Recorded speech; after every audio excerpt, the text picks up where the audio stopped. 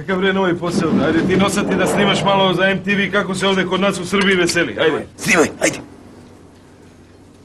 Svima nama zvezda, zvezda, Đoku pušila, ciganske pulve. Daj, mane, budi malo parlamentaran da i opozicija nešto izjavi, bre. Izvolite se. Hvala.